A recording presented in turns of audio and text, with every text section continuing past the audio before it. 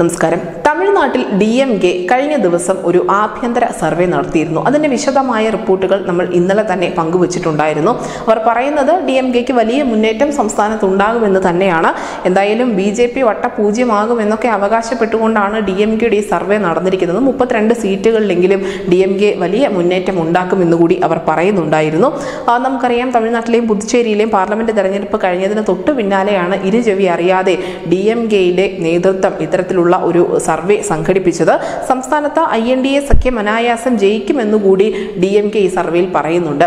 ഈ സർവേയിൽ D M കെയുടെ വിജയം അല്ലെങ്കിൽ ബി ജെ പി അടക്കമുള്ള കക്ഷികൾ തോറ്റു തുന്നം പാടും എ ഡി എം കെ നിലം തൊടില്ല എന്നൊക്കെയുള്ള പരാമർശങ്ങൾ മാത്രമല്ല ഉള്ളത്. സീറ്റ് നിലയും ആര് വിജയിക്കും എന്നതും മാത്രമല്ല മറിച്ച് സഖ്യ സാധ്യതകൾ എത്രത്തോളം ശക്തമായിരുന്നു എന്ന് പരിശോധിക്കാൻ കൂടിയാണ് ഡി എം കെ സർവേ നടത്തിയത്. ജില്ലാ അധ്യക്ഷന്മാരുടെയും മണ്ഡലങ്ങളുടെ ചുമതലയുള്ള മന്ത്രിമാരുടെയും ഒക്കെ പ്രവർത്തനങ്ങൾ പ്രത്യേകമായി വിലയിരുത്തിയിട്ടുമുണ്ട്. നമുക്കറിയാം ഈ സഖ്യ സാധ്യതകൾ എത്രത്തോളം ശക്തമായിരുന്നു എന്ന് ഡി എം കെ ഇപ്പോൾ പരിശോധിക്കണമെന്നുണ്ടെങ്കിൽ അവർ മുന്നോട്ട് ചില പദ്ധതികൾ മെനഞ്ഞിട്ടുണ്ട് എന്ന് തന്നെ വേണം കരുതാൻ. നിലവിൽ ഡി എം കെയുടെ പ്രധാന സഖ്യകക്ഷികൾ എന്ന് പറയുന്നത് സി പി എമ്മും സി പി ഐയും കോൺഗ്രസുമാണ്. അതിനൊപ്പം തന്നെ മുസ്ലിം ലീഗും വി സി കെയും ഒക്കെ ഉണ്ട് എങ്കിൽ പോലും ഡി എം കെ ഈ സഖ്യവുമായി ബന്ധപ്പെട്ടുള്ള എന്ത് തീരുമാനം എടുത്താലും അത് ഏറ്റവും അധികം ബാധിക്കാൻ പോകുന്നത് ഇടതുപക്ഷത്തെയും കോൺഗ്രസിനെയും തന്നെയായിരിക്കും.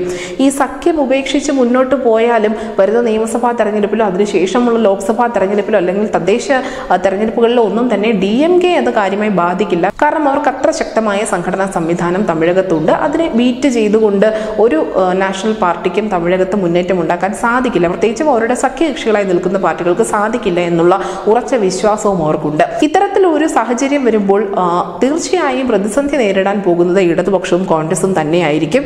ഈ ദ്രാവിഡ പാർട്ടിയുടെ തണലിലായിരുന്നു ദേശീയ പാർട്ടികളൊക്കെയും തമിഴകത്ത് നിലനിന്നിട്ടുള്ളത്.